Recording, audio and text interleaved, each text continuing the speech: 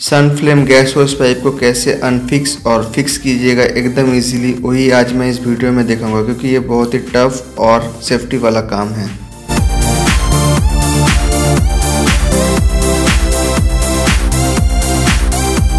Good evening friends welcome back to channel I hope you doing absolutely fine और आज twenty fifth अगस्त India आज का जो video होने वाला है, एक ट्रिकी और टेक्निकल वीडियो दोस्तों, अगर आपने प्रीवियस वीडियो देखे होंगे तो मैंने एक सूर्य फ्लेम का स्टेनलेस स्टील गैस स्टोव का अनबॉक्सिंग एंड रिव्यू वीडियो बनाया था। तो अगर आप वो नहीं देखे होंगे तो आई बटन में लिंक होगा, आप जाकर चेकआउट कर सकते हैं। उसी के बाद मैंने एक सन फ्लेम का गैस होस पाइप का भी अनपैकिंग एंड रिव्यू वीडियो बनाया था। मतलब कि गैस होस पाइप मतलब कि जो गैस सिलेंडर पाइप होता है, जो गैस सिलेंडर में रेगुलेटर और गैस स्टोव को जोड़ता है। तो ये जो पाइप होता है, इसको कैसे यूज़ करना था, वही मैं आज इस वीडियो में दिखाऊँगा। मतलब कि जो पाइप होता है, इसको उतारना, लगाना मतलब अनफिक्स और फिक्स करना, बहुत ही मेहनती काम होता है, क्योंकि ये पाइप जो होता है, रबर का पाइप होता है और उसके अंदर स्टील री इन्फोर्स रहता है, उसके बाद फिर रबर रहता है। जब पुराना पाइप सालों से आप यूज़ करते हैं तो दोनों नज़र में वो कस के बैठ जाता है और वो आसानी से उतारता नहीं। और अगर आप आदि से काटेंगे, वो काटेगा नहीं। अगर आप छुरी चाकू कुछ भी यूज़ कीजिए। और आपके पास घर में तो मशीन होगा नहीं कि वो आराम से काट दीजिएगा। और गर्म पानी का अगर आप इस्तेमाल करेंगे तो इधर उधर गर्म पानी चला जाएगा और रेगुलेटर में भी घुस जाएगा तो सेफ्टी मैटर तो उसका भी ट्रिक मैं दिखाऊँगा कि कैसे आप आसानी से इसको खोल सकते हैं पाइप को। और उसके बाद दूसरा चीज़ जो मैं दिखाऊँगा कि नया पाइप को कैसे आप फिक्स करेंगे, कैसे लगाएँगे। क्योंकि ये जो पाइप होता है, ये भी बहुत हार्ड होता है। और इसमें कोई लिब्रिकेट आप यूज़ नहीं कर सकेंगे। मतलब कि कोई ऑयली चीज़ मतलब कि सरसों तेल, नारियल तेल, पेट्रोलियम, जेली, मोबिल, कोई भी ऑयल आप यूज़ नहीं कर सकते उसके अंदर का रबर को ख़राब कर देता है, ये भी सेफ्टी मैटर रहता है। तो उसको ऐसे ही घुसाना होता है और घुसाने के बाद कोई क्लेम भी आप यूज़ नहीं करेंगे, ऐसे ही वो बैठ कर रहना चाहिए।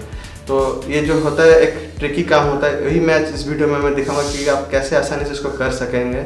और अगर आप गैस हाउस पाइप के बारे में वीडियो देखना चाहते हैं अनपैकिंग और रिव्यू तो आई बटन में लिंक आ रहा होगा, आप जाकर चेकआउट कर सकते हैं। तो चलिए दोस्तों नीचे चलता है और आपको दिखाता है ट्रिक सबसे पहले कैंडल और मैच बॉक्स लीजिए और कैंडल को जला लीजिए और अपना पुराना गैस स्टोव और रेगुलेटर पाइप को किचन और गैस सिलेंडर से दूर कोई दूसरा रूम पे आके कीजिए सेफ्टी के लिए।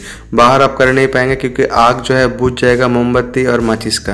आप अपना रेगुलेटर और पाइप को ठीक से पकड़िए और पाइप के ऊपर हीट कीजिए। देखिए, इस पाइप को हम लोग काटने की कोशिश किए थे छुरी, चाकू, आरी से, लेकिन ये काटा नहीं, उसका दाग है और खींचने से भी ये नहीं निकलता। तो इसको चारों ओर से आप पाइप को जो है हीट कीजिए। हीट करने से क्या होगा? जो पाइप है वो एक्सपेंड हो जाएगा। मतलब इसका अंदर जो रबर और स्टील री है, उसको गर्म करने से वो बढ़ जाएगा और ये लूज हो जाएगा। और इसको चारों ओर से हीट कीजिए और सावधानी से कीजिए ताकि रेगुलेटर में आग ना लग जाए रेगुलेटर बर्बाद हो जाएगा। तो सावधानी से कीजिए। अब इसको दोनों मिलकर, दोनों हाथ से पकड़ कर खींचना पड़ेगा, इतना टाइट है। तो देखिए, मैंने और पापा ने मिलकर खींचा तो ये खुल गया, इसलिए मैं वीडियो नहीं कर पाया। तो देखिए पाइप जो है एकदम आराम से खुल गया और रेगुलेटर पाइप में कोई खराबी नहीं आया। तो एकदम सावधानी से कीजिएगा क्योंकि हम लोग आग को यूज़ कर रहे हैं तो हमेशा सावधानी बरस के धीरे धीरे कीजिएगा। अब new Sunflame gas hose pipe को new Surya Flame gas stove में फिक्स करेंगे। तो देखिए, ये जो एलपीजी रबर होस पाइप है, इसको घुसाने का कोशिश कर रहे हैं नोज़ल में तो ये घुस नहीं रहा है, इतना टाइट है। तो थोड़ा सा साबुन या फिर हैंड वॉश पतला करके पानी लीजिए और इसका जो नोज़ल है, इसको ऊपर बुला दीजिए।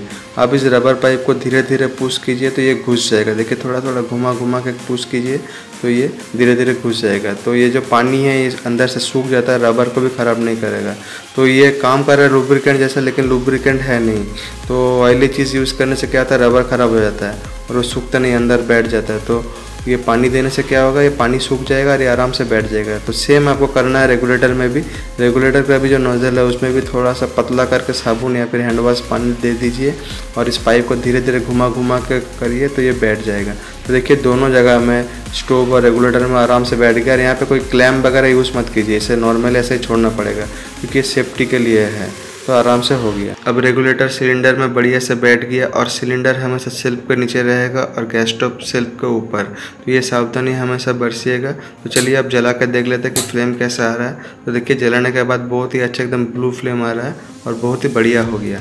तो दोस्तों, आशा करते हो आपको ये ट्रिक और टेक्निक पसंद आया होगा। तो गैस सिलेंडर से दूर आके कहीं खुले में या फिर कोई दूसरा रूम पे जाके इसको कीजिएगा, क्योंकि सेफ्टी सबसे पहले क्योंकि एक कहावत है, आग से खेलोगे तो जल तो जाओगे। तो सावधानी बरसी है मतलब कि बहुत सावधान से कीजिएगा।